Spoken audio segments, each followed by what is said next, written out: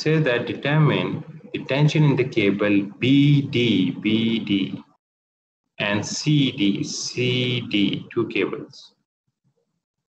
And the XYZ components of the reaction at the ball socket at A. So reaction at the ball socket at A.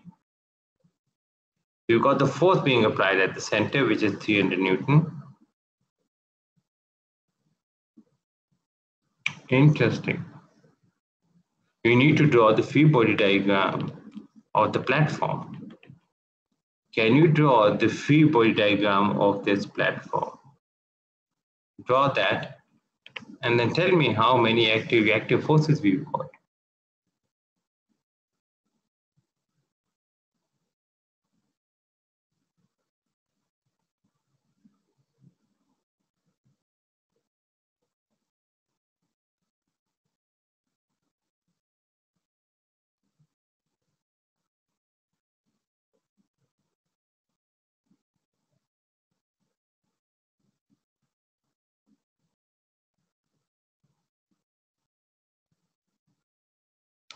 What we've got here, we've got the force being applied here. That's one force.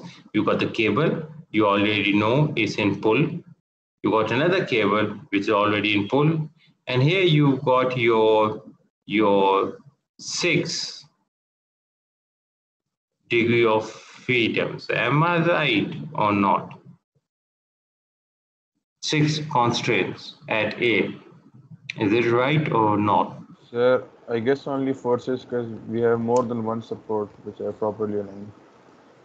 Uh, no, it doesn't say any support properly aligned. It doesn't say.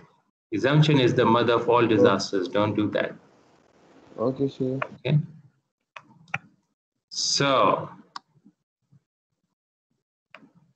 is my feed free body diagram right that I've got three forces and six reactive force?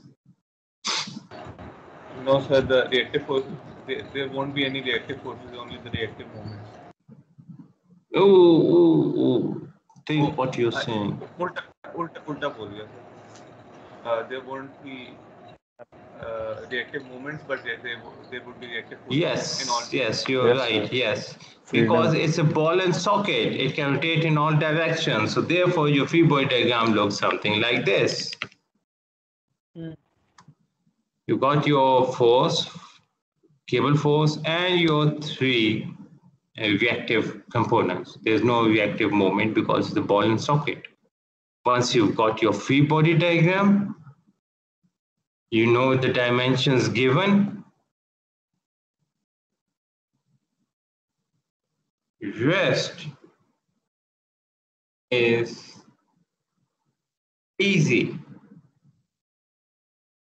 The only thing that you have to spend time on is this. Remember, in industry, that will matter most.